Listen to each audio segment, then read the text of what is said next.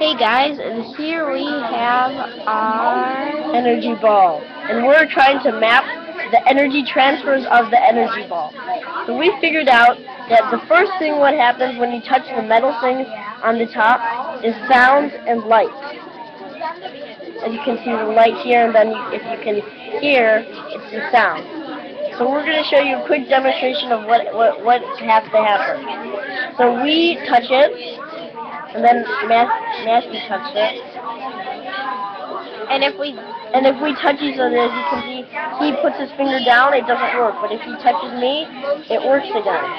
So we figured out that that would be the energy that would go all the energy in this thing would go all the way around us and then come back to these two metal things right So it's chemical. So it's chemical energy. That wraps up our mapping of energy transfers of the energy ball.